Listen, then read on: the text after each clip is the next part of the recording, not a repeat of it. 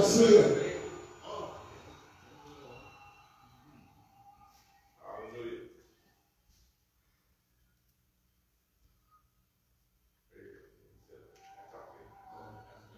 For this song says, Sunshine or rain, you will be there to ease the pain that I can't forget you, Lord. Sing it now. Sunshine or rain.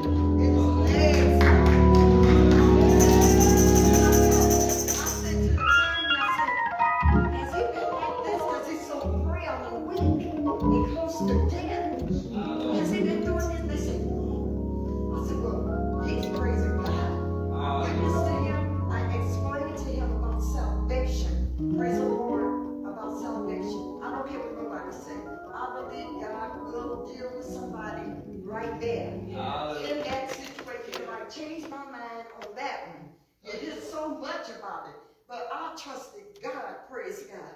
And the man accepted the Lord, praise God. A few days went by and he said, go back over there. And I went back and I said, okay, I knew it would be. But I just wanted to see him one more time.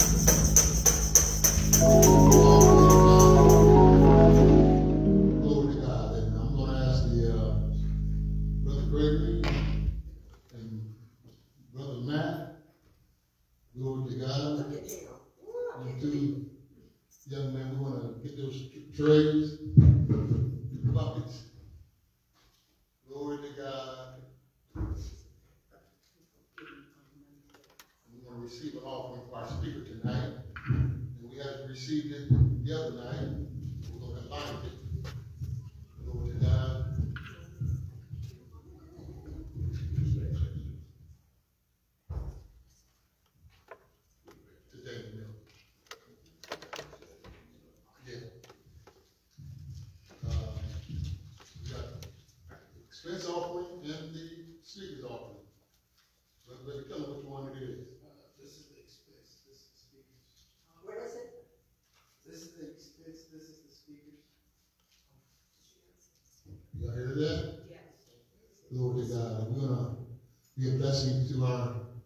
speaker, glory to God.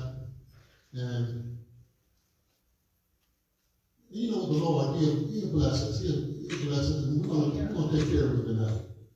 Glory to God. We're gonna put it all together, glory to God, and then uh, we're gonna see how the Lord works. In the name of the Lord. All right? Glory to God. Well, y'all get it together, get it? Get it. Y'all still digging. Mhm.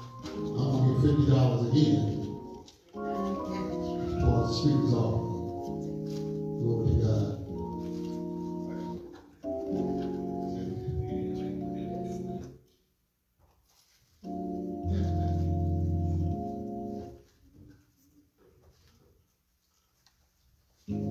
The cash app for, um, the expense, or for the speaker's offering is GTCOGIC, if you want to cash app.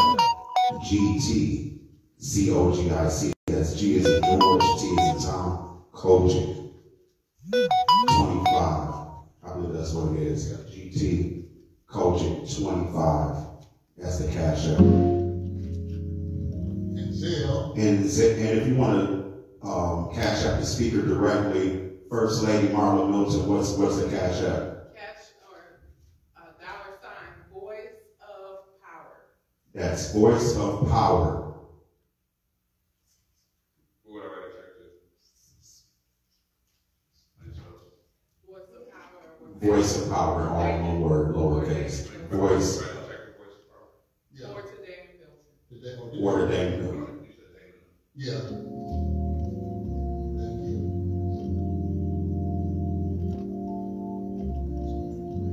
And if you want to Zelle, Gethsemane Temple Church, Gethsemane Temple COGIC. okay, Gethsemane Temple COGIC, five one seven, five five four, six nine eight zero. Yep. And all the information is in the caption on Facebook as well.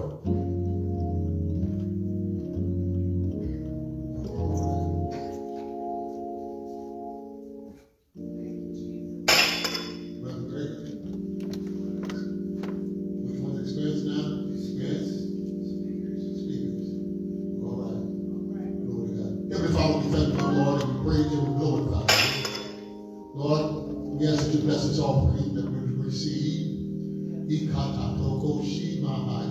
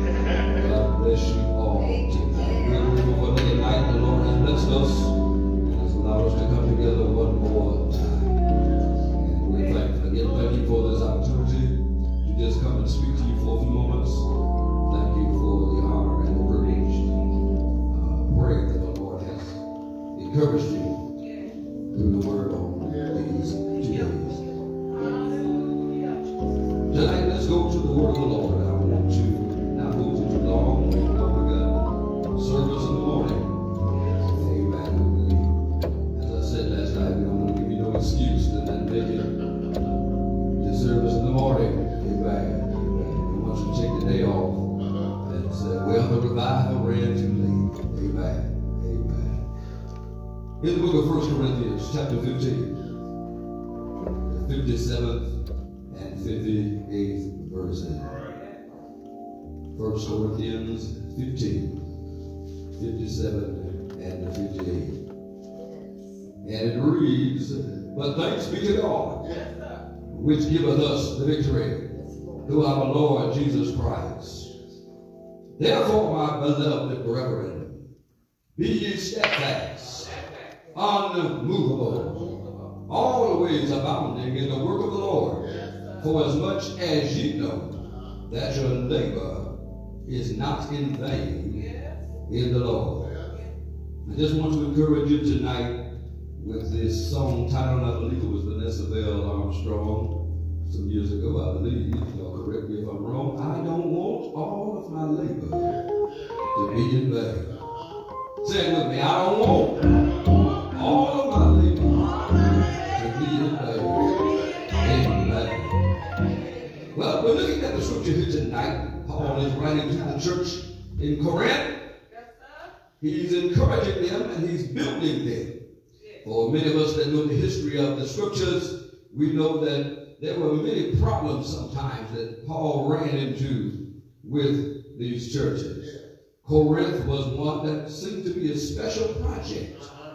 Had a lot of trouble in this church, in fact. And many of us as pastors, we know sometimes we have these seasons of, trouble. But God has not promised us a sunshiny day every day. There must be some rain sometime. Amen. There are seasons of difficulty. Amen. We find out that, let me put it like this. You find out what you're really made of. Ministry will make you or break you. Many of us start out thinking it was going to be just rosy and dandy. People are going to give us pounds. That's probably a little far back for some of us in here. They're going to give us pounds on Friday night. They're, going to have a pastoral Sunday. They're going to give me an anniversary, a pastor and a church anniversary. And the money's going to roll in. Amen. And we're going to live it up. Drive fancy cars, wear fancy suits and shoes, and we're just going to sail on into paradise. Paul had to let us know he went through some things with these churches. Amen. There was times where there was nothing reciprocated. Sometimes the more you put out, the less you get back. The Lord wants us to know tonight that we're not doing this for a great name. We're not doing this for people to honor us, but we're doing this because this is what God has called us to do. Jesus said it this way, many are called, but few are chosen. Everybody don't make the grade. Uh-huh. Amen. And many people start out running real fast.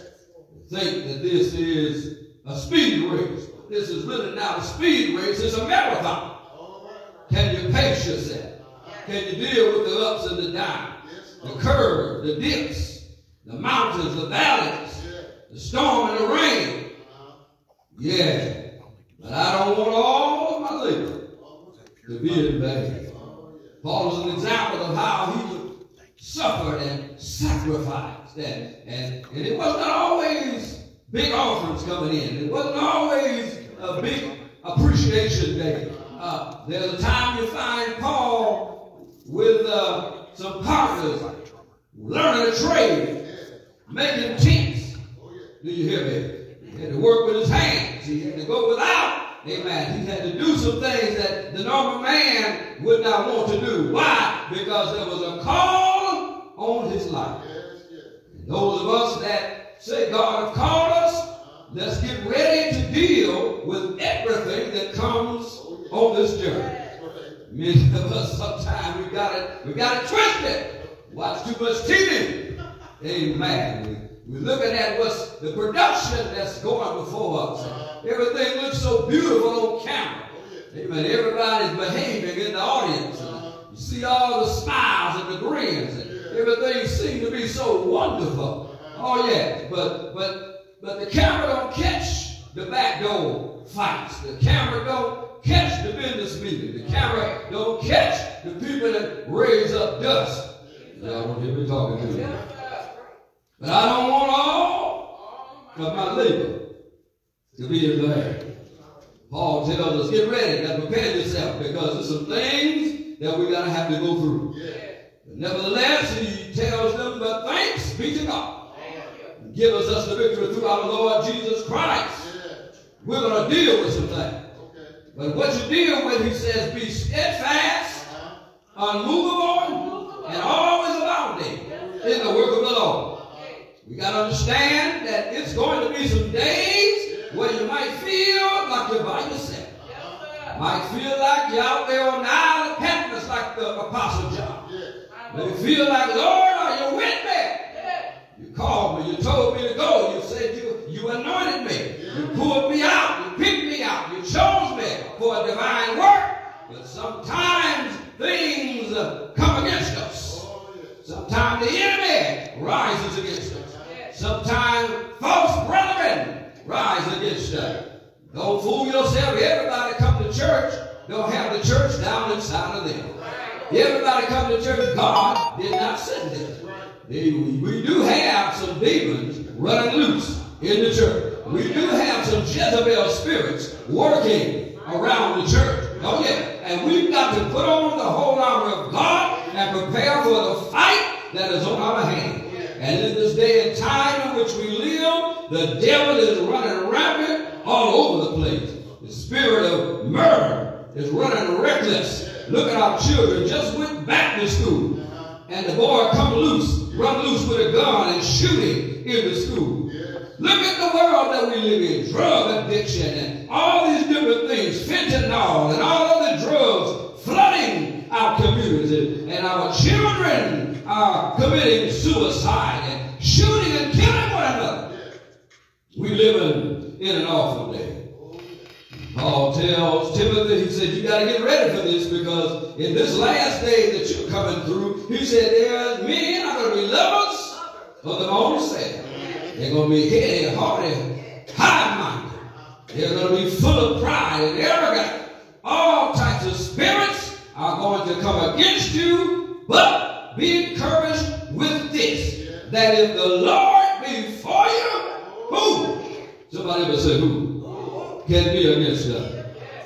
I don't want all of my labor to be in vain. Think about all that you are doing and have done in your walk with the Lord. Look at the time that you put in. Look at the, the things that you had to go through. Amen. Look at the times you ministered. Amen. And people weren't able to give you anything. Look at how you went to the rescue of people who could not even some of them didn't even say thank you. Amen. There were times, and most of us, especially pastors, know that we go to the rescue of people that don't go to our church. Amen. They're not on our rolls. They don't give tithe. They don't give offering. They don't show up. But when a crisis happens, we get a call. I need you here. I need you there. I got a third or fourth cousin twice removed. I need you to go. And I need you to serve them. Y'all don't hear it. Uncompensated. Lord have mercy, Jesus. But my brothers and my sisters, this is why you got to be sold out for God because we're not in this for a paycheck. We're not in this for a big car. We're not in this for alligator shoes. We are in this because God has placed a divine call upon our life. And no matter what happens, if God be standing with me, I know I'll make it all right. You have a witness. As I run hurriedly to my close, there's an old song that I used to hear the saints sing that you don't hear them sing much now because we're in the day of the praise teams and the worship teams and all this nothing wrong with it. But this old congregational song said, put your time in. Payday It's coming after a while. Yeah, sometimes we forget that you got to put in your time. Amen. Sometimes we got young young people want to get in ministry, and overnight they want to be T.D. Jakes, and overnight they want to be Joel Osteen, and overnight they want to be whoever. But I want you to know that the only way you're going to be effective is to walk in the path that God has called you to. You've got to stir up the gift that's within you. Do I have a witness here? Y'all don't hear me talking. We got too many copycats. We got too many clones. We got too many people trying to do what they see the man and the woman on TV do. But we've got to get before the Lord. We've got to get in that prayer closet. We got to ask God to give us a means, a system, and a way to operate that will be effective in this day and time. Do I have a witness? I said, put your time in. You got to put in some time. Amen. Then you got to look at it like this. You don't go on a job and put in two weeks, and all of a sudden you think you're ready for a benefit package. You got at least work 90 days to get yourself all the way in there. But many of us want work two weeks, work three weeks, and all of a sudden we want a vacation. What you mean vacation? You ain't worked a month yet. Y'all don't hear me. You got to put your time in. Somebody else say put your time in. You got to put some sacrifices. You got to pay some dues.